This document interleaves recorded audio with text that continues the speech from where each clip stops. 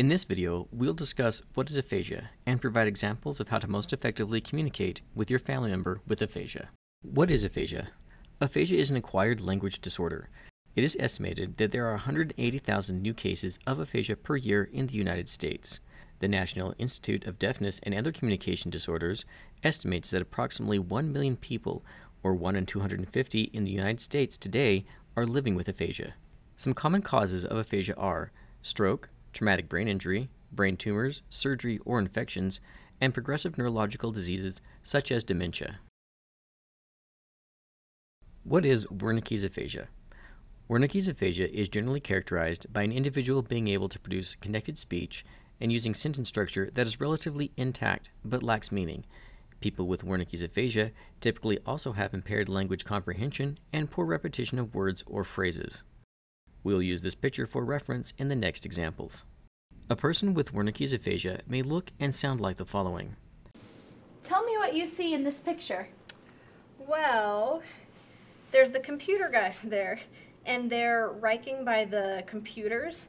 And these guys over there, they're they're driving by the Klein, and up here, he's got the the oh with the Kleins and the the ah, the the Kleining, um, and wow, such a good Kleining.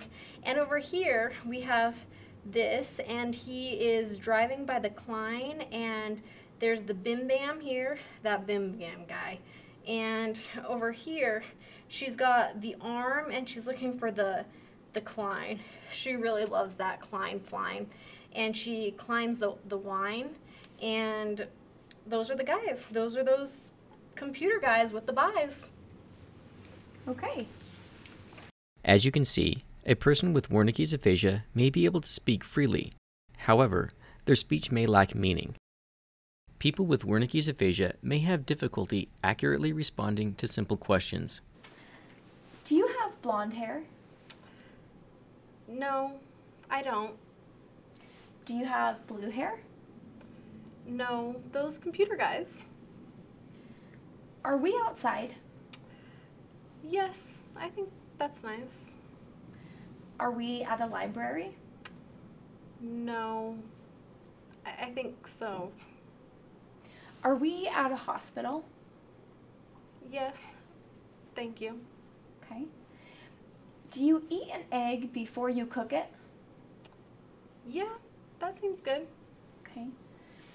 Is a mouse smaller than a lion? Um, I don't. A lion, it's good, and they go by the fly. Thank you. As seen in the video, individuals with Wernicke's aphasia may have difficulty accurately responding to questions. People with Wernicke's aphasia may also have trouble following directions. Pick up the plate. Pick up the glasses. Pick up the sock. Pick up the washcloth. Pick up the glasses and the plate.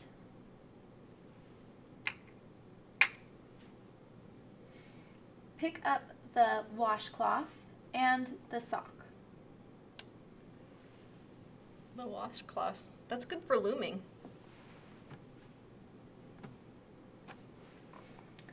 Put the plate on the washcloth.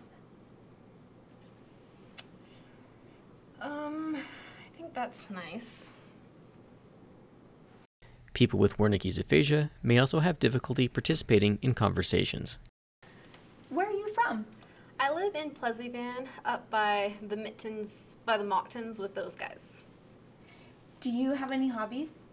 Oh, I love computers. Those computer guys um, with those pies, and I love to go around outside and throw those with those guys. And oh, are they fun! Do you have a family?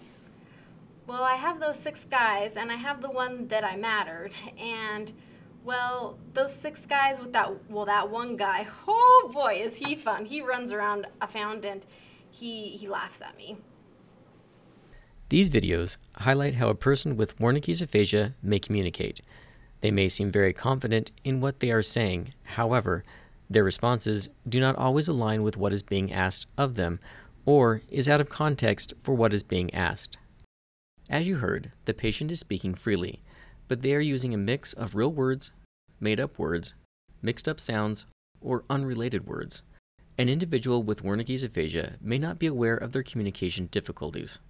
People with Wernicke's aphasia may have difficulty understanding language based on the severity of their diagnosis. For example, the following task may be challenging for a person with aphasia understanding yes no questions, following directions, participating in conversations, or comprehending stories and lectures. The overall goal is to increase communication. This can include spoken language and communication via actions and pictures. Here are some tips to help you communicate with your loved one. Use simple and direct phrases. Limit distractions, only one person talking at a time, and make sure to turn off the TV or close the door. Ask yes or no questions, or provide two choices. Use gestures, pictures, and or objects when communicating to ensure comprehension. Encourage your loved one to use gestures, objects, or pictures to communicate with you. Be patient. Encourage your loved one to keep trying to communicate even if it's frustrating.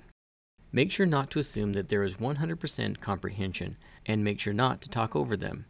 It is anticipated that communication will improve over time as you learn how to most effectively interact with them. Thank you for watching this video about aphasia. We hope you find this information helpful as you learn how to help your loved one through this challenging time.